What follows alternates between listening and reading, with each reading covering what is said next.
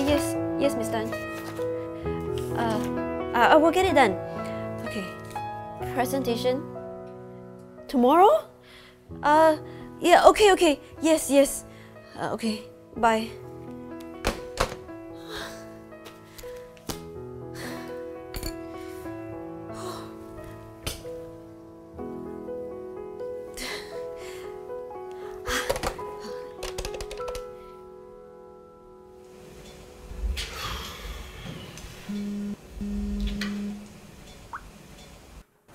Hey, Ai Ling, what's up?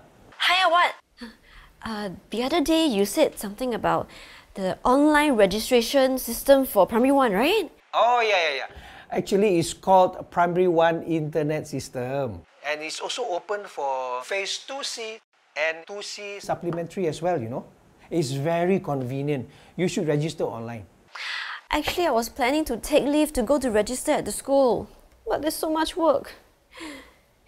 My Sarah should be eligible for the online registration, right? Is her birth registered in Singapore? Does she hold a Singapore issued uh, birth cert? Ah, yes. Okay, and then are you and your husband both uh, Singapore citizens or PR during her birth? Yes, yes, yes. Uh, both of you should have a SingPass account with the 2FA setup. Uh huh. Then you can register online. All you have to do is just fill up the details and confirm that it's all correct. At most, it's gonna take you like 5 to 10 minutes only. Oh, wait, wait, wait. Why do we need the SingPass of both parents? Ah, both of you have to log in in turns. One have to fill in and actually verify the information, and then the other one will have to follow up to confirm and complete the registration. Oh, wait, wait, wait, wait. Uh, how do I know if the registration is submitted successfully? Okay, for that you have to make sure that you can see the acknowledgement page that confirms your registration has been submitted. Okay. Ah, one more thing, Ai Ling.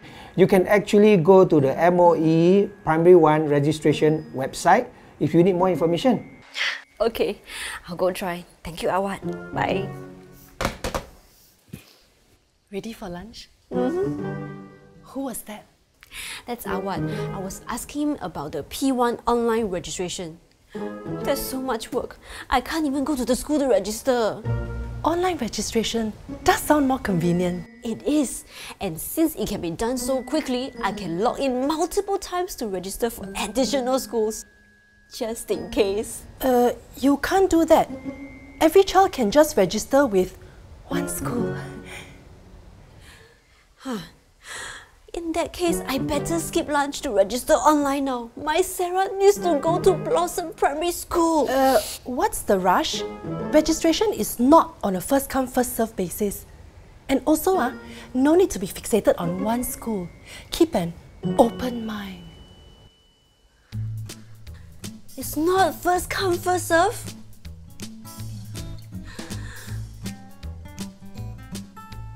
Okay, well, if there's no rush, then I'll register at a convenient time when the registration opens then.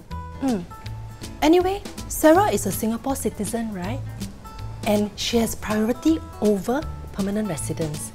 And your home is also within one kilometre of the school. So if there's more registrants than vacancies, Sarah will have priority admission.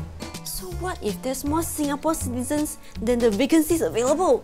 Then homeschool distance will be considered. So those staying within one kilometre of the school will be admitted first, followed by those within one to two kilometres, and finally those outside two kilometres. Uh, just remember in this case, you have to stay at your registered address for at least 30 months. 30 months starting from? Starting from commencement of registration exercise. So that means if there's more registrants than vacancies and Sarah is admitted based on distance priority, then we have to stay at the registered address for at least 30 months from the commencement of the exercise. Girl, you are spot on. oh, look at the time. Shall we go for lunch? Oh, yes, yes, yes. Let's